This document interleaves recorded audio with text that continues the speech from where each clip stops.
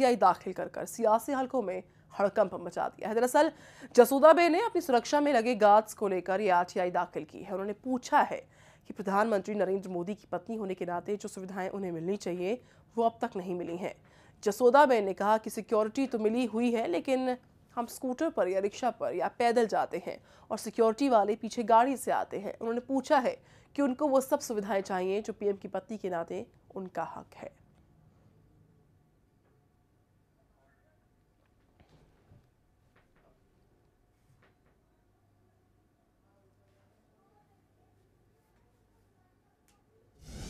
मुझे कानून के प्रावधान के तहत और भारत के संविधान के तहत किसके आदेश से सुरक्षा दी गई है और इस आदेश की सर्टिफाइड नकल तुरंत उपलब्ध कराई जाए। मैं भारत के प्रधानमंत्री माननीय श्री नरेंद्र भाई मोदी की पत्नी हूँ। मुझे प्रोटोकॉल के मुताबिक सुरक्षा दी गई है और प्रोटोकॉल के अनुसार किस प्रकार की सेवा मिल सकती है, विस्तृत रूप से बताने की विनती है। मैं जो प्रवास या यात्रा करती हूँ, वह सार्वजनिक वाहन से करती हूँ, जबकि सुरक्षा में मौजूद सुरक्षाकर्मी सरकारी गाड़ी का इस्तेमाल करते हैं।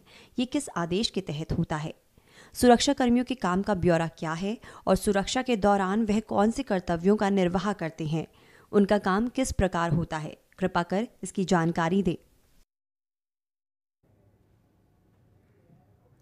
और इस वक्त हमारे साथ भौमिक व्यास फ़ोन लाइन पर है। भौमिक, सुरक्षा को लेकर सवाल पूछे गए हैं। सुरक्षा जो है प्रोटोकॉल के तहत दी गई, लेकिन इसके अलावा कई और बातों का ज़िक्र है। आरटीआई के तहत सवाल पूछे गए हैं अपने हक के बारे में। जी, बिल्कुल। देखिए जसोदाबेन नरेंद्र मोदी की पत्नी है, उनके हिसाब से वो खास है। हम आपको बता दें कि जो याचिका दायर की गई है, कानून माहिती अधिकार नियम के तहत, उनका कहना है कि जो सुरक्षा मिली वो सही है, लेकिन किसके आदेश पर मिली है, वो इनको जानकारी देनी चाहिए।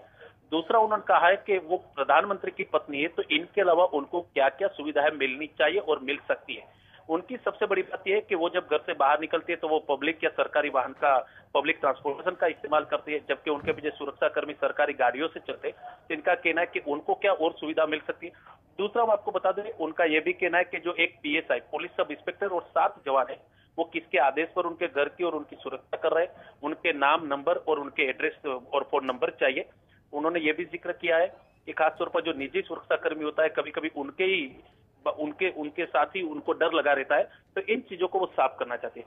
दूसरा हम आपको बता दें, उन्होंने ये भी कहा है कि प्रधानमंत्री की पत्नी की होने के नाते जो भी प्रोटोकॉल के हिसाब से सुविधा मिल सकती है, वो सारा ब्यौरा उनको दिया जाए। माना जा रहा है कि जसोदाबेन कहीं ना कहीं ये चाह रही है कि प्रधानमंत्री की पत्नी के तौर पर उनको सरकारी आवास मिले, उनको सरकारी सुरक्षा मिले, उनको सरकारी गाड़ी मिले। तो इन सारी चीज़ों को नजरअंदाज नहीं किया जा सकता और इसको लेकर उन्होंने मेहसाणा सुप्रिंटेंडेंट ऑफ़ पुलिस की दफ्तर में ये याचिका दायर की है।